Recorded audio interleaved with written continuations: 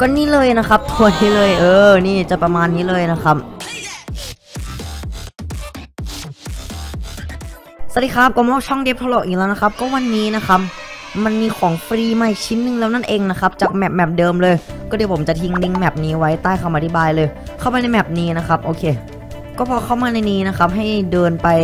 อ้าว มาตรงนี้นะครับ จากนั้นก็กด E นั่นเองนะครับ โอเค ถ้าเกิดว่าคลิปแหลกหน่อยก็ขออภัยด้วยนะครับ ไม่รู้เหมือนกันคอมผมเป็นอะไร โอเค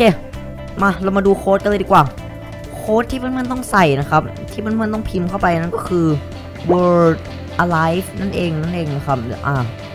W O R L D word alive แบบนี้เลยนะครับปึบแล้วมันก็จะขึ้นว่า successfully redeem นะครับ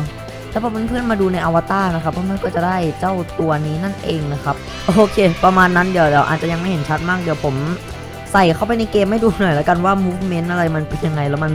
ประมาณไหนนะก็นี่เลยนะครับตัวนี้เลย เออ นี่จะประมาณนี้เลยนะครับ